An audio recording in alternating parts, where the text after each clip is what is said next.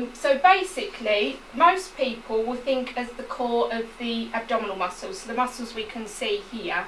So basically, your nice six pack. Yeah. Um, is that right in me thinking that you're all, yeah, this is what you're working on when you're doing core work? Yeah. Okay. Um, so looking at these muscles, we've got the very superficial, which is the rectus abdominis muscle. So you can see this one coming through here. Um, then we've got the deeper muscles which go into the external in and internal obliques. Um, and then we're looking at the very deep um, transverse abdominis as well. So basically just a little bit of um, anatomy as far as they're concerned. So when we're looking at the rectus abdominis, it comes right up into here. So if you sort of push into your breastbone, right at the bottom there, there's something called your xiphoid process. And that is where the rectus abdominis comes from. So it really does come up quite high. And then inserts right into the bone um, as you come into the pubic area and the pubic symphysis. So they really are long muscles. And the main um, function of this muscle, it will flex, so it will pull you forward here, and it's going to rotate as well. That's its main function. It does do other things, but that's the main function we're looking at.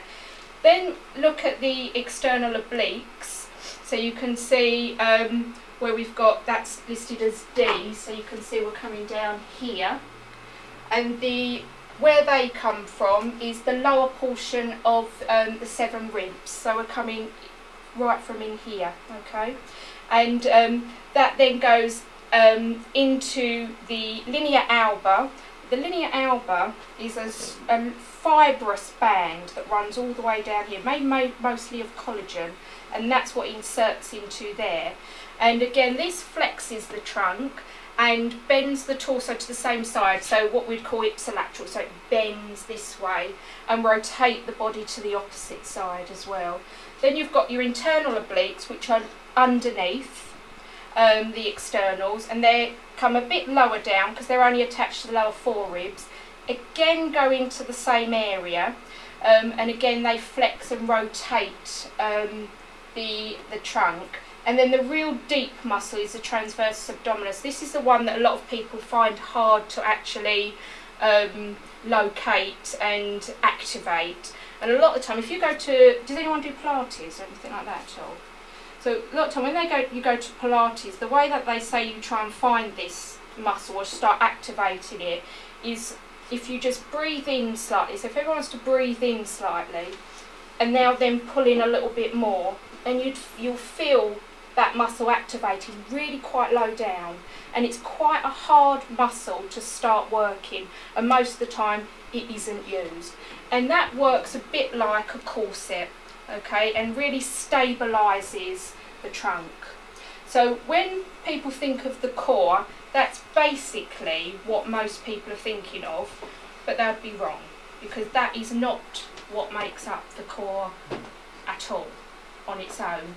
It actually, the abdominals actually don't play a huge part in making up the core. There's lots of other additional muscles, which most of the time are forgotten about.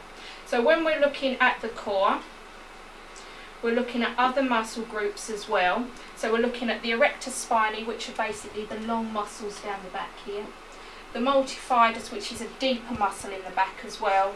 And the hip flexors. I'm sure you've all heard about the hip flexors.